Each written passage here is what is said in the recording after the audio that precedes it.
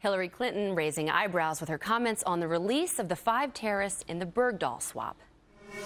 These five guys are not a threat to the United States.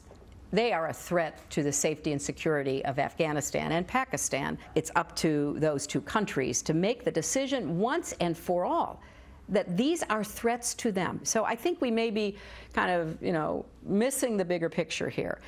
We want to get an American home.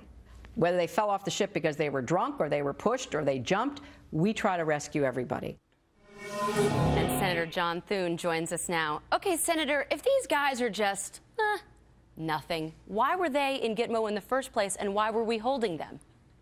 Really good question, Andrea. I think what Secretary Clinton said, or former Secretary Clinton said, is dangerously naive and contradicts everything we know about these five people. Uh, Joint Task Force Guantanamo declared them as high risk. We know they had ties to uh, Osama bin Laden. These were senior military intelligence officials within the Taliban. And when Hillary Clinton talks about, I think we're missing the big picture, the big picture here is that you're talking about releasing a bunch of people that are very, very likely are going to get back into the fight and put American soldiers and American interests and American citizens uh, at risk. That is a very serious uh, concern, I think, for a lot of Americans. And somehow it's being lost here in Washington, D.C., where a lot of people have sort of bought into this narrative, a, a misguided and alarming narrative, I might add, that somehow these guys are not going to be a risk to American interests. Mm -hmm. Especially now when they're heroes.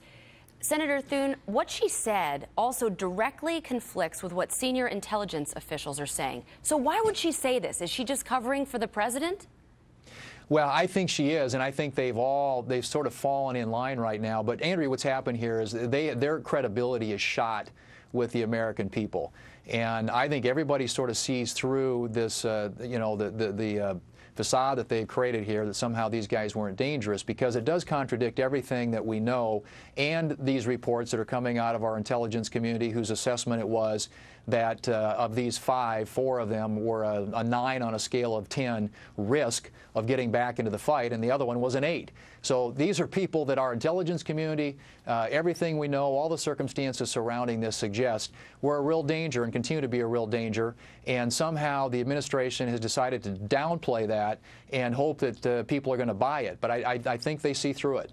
Senator, I only have about a minute left, but a lot of our officials are also anonymously saying that they're not going to be closely monitored. They could escape. How concerned are you that they could go back to jihad much sooner? I'm very concerned, and I think every American should be very concerned about that. Uh, you know, this idea that somehow because they're in Qatar that uh, they're going to be for a year off of the battlefield uh, with uh, modern communications. I mean, these guys could be back in the fight in a hurry, and I don't think for a minute that we should assume that just because the administration has offered some assurances that these guys are not going to be back engaged in, in planning and executing terrorist attacks because that's what they do. These are hardened, some of the worst that we had at Guantanamo, and, and now they're back on the loose. That's a real threat to American uh, soldiers, American citizens, and American interests. Well, as my colleague on the Five, Greg Gutfeld, says, maybe they'll just go start a book club or something. I doubt oh, it. yeah. Yeah, Senator, I doubt it. Thank you. Thanks, Andrea.